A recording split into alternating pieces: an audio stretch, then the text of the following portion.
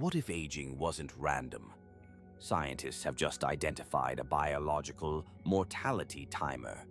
It controls how fast our cells break down. At the cellular level, aging is tied to replication. Every time a cell divides, it loses a bit of its protective DNA caps, called telomeres.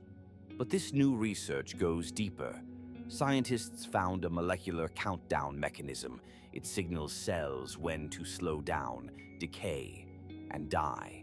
By modifying this timer in lab tests, researchers delayed cellular aging. They extended cell lifespan.